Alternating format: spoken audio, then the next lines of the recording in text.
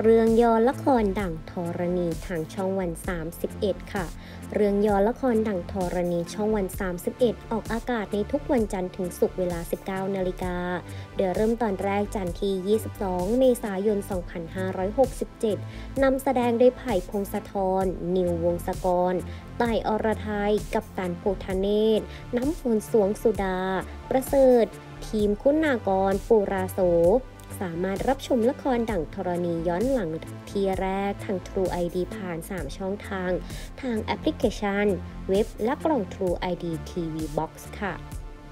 ซึ่งกระแสเปลี่ยงปลั่งหลังช่องวัน 31 ปล่อยตัวละคร ตัวอย่างสะท้อนความเป็นจริงในสังคม ดั่งธรณีกับเรื่องราว การต่อสู้เพื่อความยุติธรรมที่ความต่างของชนชั้นทำให้ความยุติธรรมมาช้าจนกลายเป็นความไม่ยุติธรรม กับเรื่องราวสุดดราม่าเข้มข้นที่ถ่ายทอดผ่านฝีมือ 3 นักแสดงท็อปสตาร์นิววงศกรไผ่พงศธรต่ายอรไทยที่เคียงบ่าเคียงไหลตามหาความจริง และพิสูจน์ว่า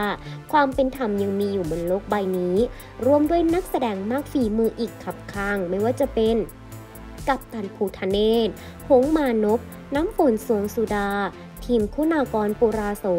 เตียวหุยเพชรปรัชญา เหลืองเดชานุรักษ์ เปลนิพา ฟิล์มเชอริสา แคนดี้รักแก่น การทัศนะ เดี่ยวชูพงช่างปรุง ดาราธัญพร และทำต่อมความอยากรู้อยากเห็นของแฟนๆพุงส่งปรีดล่าสุดละครดั่งธรณีพร้อมลงจอให้ทุกคนได้เสพความดราม่าสะเทือนดินฟินเต็มจอเต็มอัตรสกันทั่วทั้งธรณีในทุกวันจันทร์ถึงศุกร์เริ่มตอนแรกในวันจันทร์ที่ 22 เมษายนนี้ ปักหมุดรอที่ช่องวัน 31 ได้เลยค่ะ